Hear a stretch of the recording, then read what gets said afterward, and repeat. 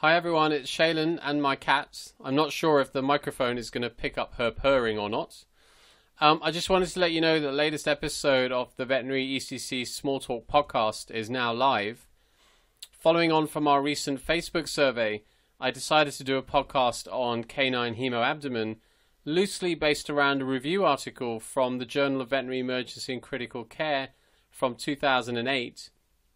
As this is quite a big topic, I have divided it into two parts.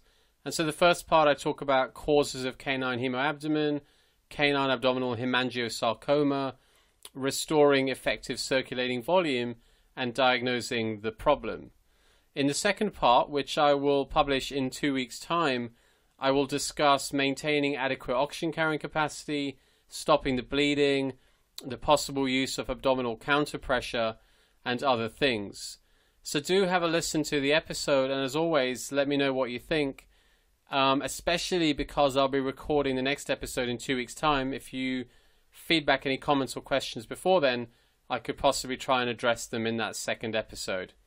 All right, take care. Cheers. Bye.